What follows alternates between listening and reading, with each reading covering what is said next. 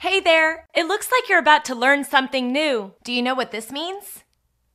Nest meaning. The first definition. A place or structure that a bird chooses to shelter its young and lay eggs in. The second definition. Unwanted people and things are often found in a place. For example, the first exempli. Last summer, Caitlin observed bald eaglets fledging from nests at two sites. Now let's take a look at what this word might look like in a few images. Check them out here.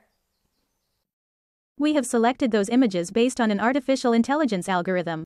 In some cases, some images may be irrelevant to this word.